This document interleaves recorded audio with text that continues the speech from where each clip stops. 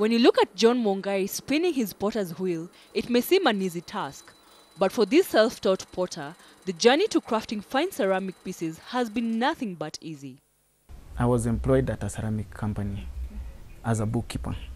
I didn't do the production or anything. Then I stayed there for one and a half years. I left. But just before I left, I bought some of the equipments I'm using now, like the kiln and a potter's wheel, which I had, which became faulty. Then I had to make my own again. Then from there, I didn't know how to do it.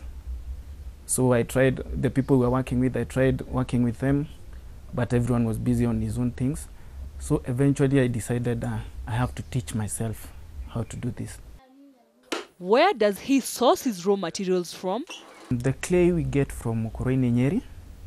Then uh, we, uh, we buy some other components locally, like the silica, the feldspar, the dolomite, and the kaolin. That one we can get from the river. But the stains that we use to for coloring, the final product, when you want to get the blue or the white, those ones, because they're not locally available, we go and get them from South Africa. For John, the bulk of his clientele is from the expatriate community. I sell at Westlands. I have also done some few orders for hotels. And uh, I also sell at the village market every Tuesday, every last week of the month and the first week of the month at the village market. And in between the month, I also exhibit at the village market every Wednesday. Though he has a passion for what he does, he has faced setbacks, but this has not deterred him.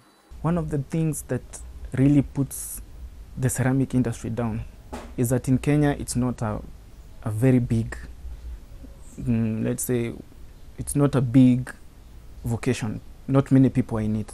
So, like, if you want to buy a kiln, you have to source from either South Africa, or you go to America, or get it from UK, because they are not locally available. Another part is that the, the stains, we also don't have them locally, so we make do with what we have.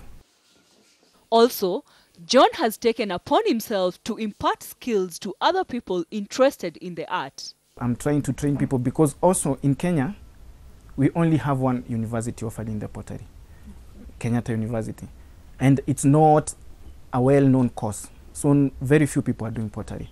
If you want someone to throw, like the potters, there are very few in Kenya. So the few who are there, they are being grabbed by the people who can pay the most. So I'm trying to train people even for free, the youngsters, so that at least I bring some more people into the industry. His words of advice to other entrepreneurs look for something you really love to do.